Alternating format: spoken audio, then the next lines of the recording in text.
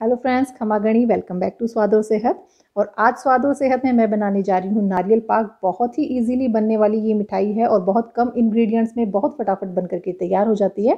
तो चलिए नारियल पाक बनाना शुरू करेंगे। तो ये नारियल पाक बनाने के लिए देखिए, मैंने ये नारियल लिया है, जो गोल वाला नारियल आता है, इसको गट भी बोलते हैं। तो एक ये गट मैंने लिया है।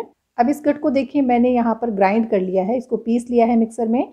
आप चाहें तो इसको कद्दूकस भी कर सकते हैं, चाहें तो इसको मिक्सी में पीस लीजिए। बहुत ज़्यादा बारीक पीसने की ज़रूरत नहीं है, बस दरदरा सा आप इसको पीस लीजिए। और माप करके ये जो कप है, ये मैंने दो कप लिए हैं, आप कोई भी कप कटोरी ले लीजिए, उसमें आपको बस ये अंदाज़ा लगा लेना कि कितना आपने नारियल लिया है।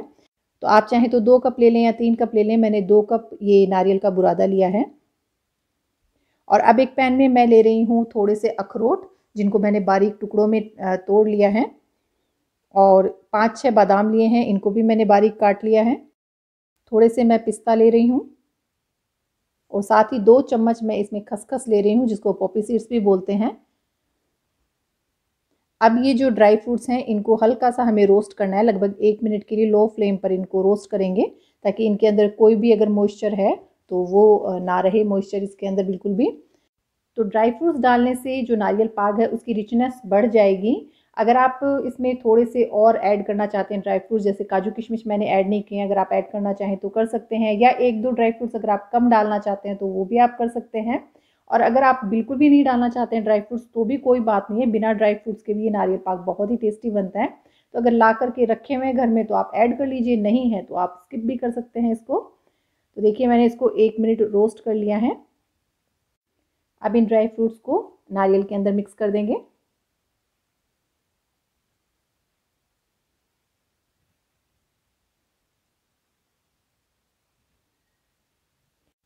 अब मैं एक पैन में दो कप चीनी ले रही हूँ, यानी कि जितना मैंने नारियल लिया था, उतनी ही मैंने चीनी ली है। इसीलिए मैंने आपको कहा था कि इसमें कोई खास मेज़रमेंट नहीं है। आप ये देख लें कि कितना आपने नारियल लिया है, उसी हिसाब से आप चीनी ले लें और चीनी का आधा इसमें पानी ले लेना है।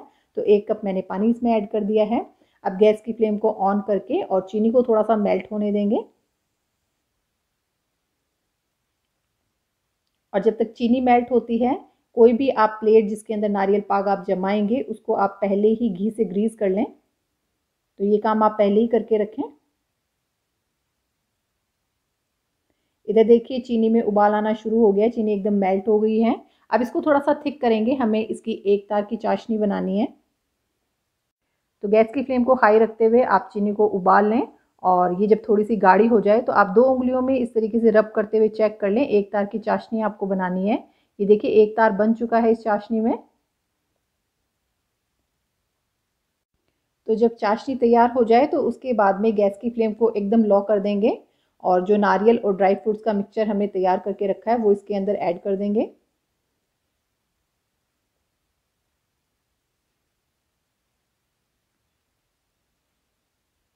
और अब फिर से गैस की फ्लेम को मीडियम करके और लगभग डेढ़ से दो मिनट के लिए इसको हम कुक करेंगे। इसको थोड़ा सा हमें गाढ़ा करना है, यानी कि जमने वाली कंसिस्टेंसी पर इसको लेकर के आना है। तो इसको डेढ़ दो मिनट के लिए आप मीडियम फ्लेम पर पका लें ताकि ये थोड़ा सा थिक हो जाए।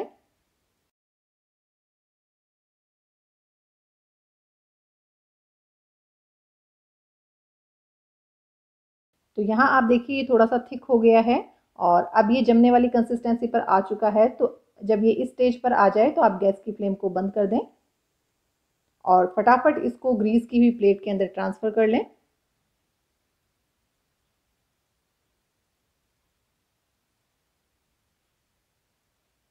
और चम्मच से इसको फैला दें चारों तरफ़।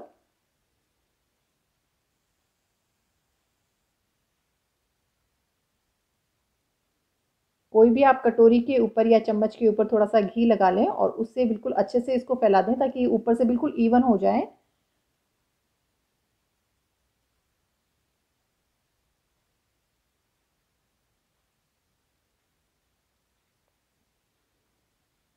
और बस अब इसको लगभग आधे घंटे के लिए सेट होने के लिए छोड़ देते हैं। फटाफट ये सेट हो जाता है, ज़्यादा टाइम नहीं लगता तो आधे घंटे के लिए इसको छोड़ दें ताकि ये अच्छे से सेट हो जाए। और जब ये आधे घंटे में बिल्कुल अच्छे से सेट हो जाए तो आप इसको पीसेज में कट कर लें। ज़्यादा टाइम नहीं लगता है इसको सेट होने में।